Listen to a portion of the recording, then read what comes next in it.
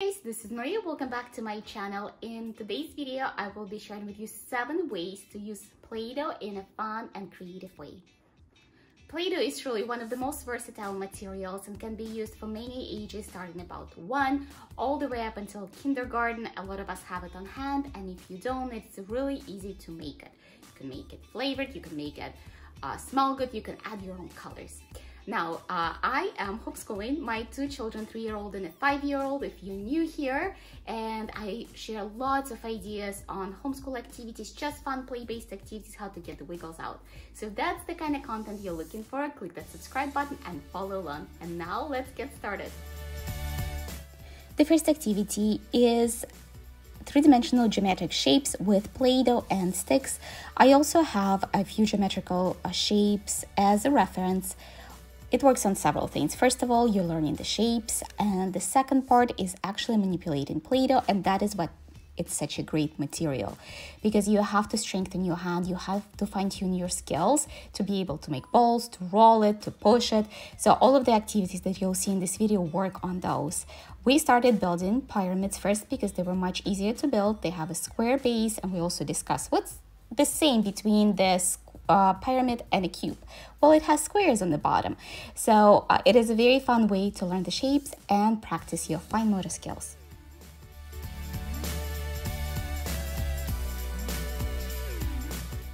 The second activity that you can successfully use Play-Doh for is letter formations and number formations. In this case, Baby Justin has uh, enlarged numbers and we are working on numbers 1 through 5 and it's not as much for him to write it, more for learning how to manipulate Play-Doh and put it in the right way.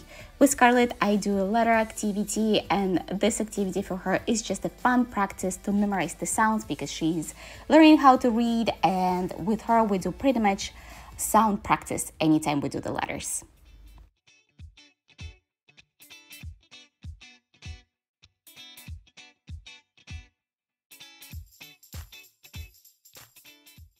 Another fun way to use Play-Doh is patterns. In this specific case, I drew like a hybrid between a train and a bus for Justin, and we were pushing the Play-Doh as the wheels just to get him a little bit more interested in in the work. And I would ask him, okay, so that was light, then dark. And what do you think is gonna come next? And also I made him roll the smaller balls to practice the finger strength. Dark? Are you sure? Light, dark. Light, dark. If your child is new to the concept of patterns, I recommend starting with two colors dark, and then moving on orange, to three. Light, dark, the next way to use the Play-Doh for developmental activities is cutting. I talk about it quite a bit in my video, so I'm not going to spend much time on this here. So again, make sure your child is holding their wrist the proper way and they can cut away and roll the snakes and that's a great fine motor skills practice.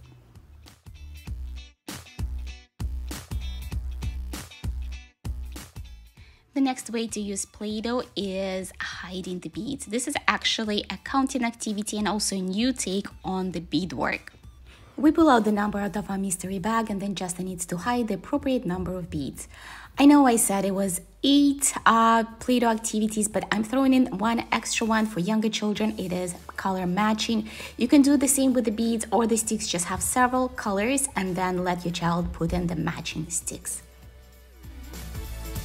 You can also use Play-Doh for making art. This activity is great for a bit older children, like three-year-olds might not respond very well, but we did this one for Earth Day and Scarlett was doing a map. We discussed the continents and oceans, and then we discussed the deserts and the forests.